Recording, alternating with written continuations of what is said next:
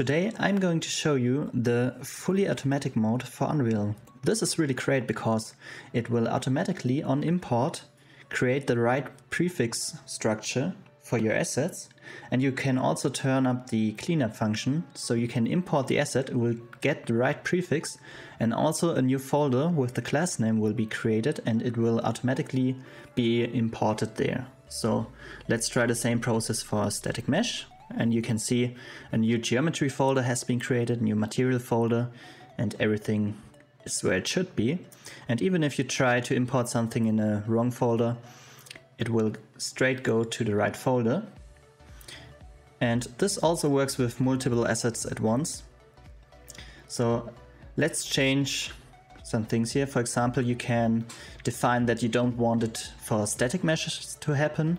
So now it will only work for textures. For the purpose of the demonstration, just turn this prefixes off. And now if I import a static mesh, it will just stay here. But if I import a texture, it will be cleaned up into the texture folder.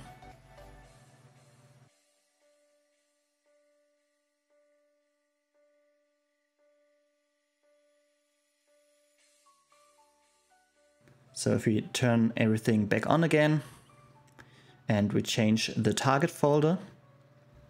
So for example, I can just put my name in there and turn everything back on. So now if I import something, a new folder structure will be created for me with my name and everything will be imported into its own class folder.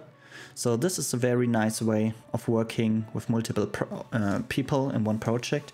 Everyone can create its own folder structure and everything will be nicely cleaned up.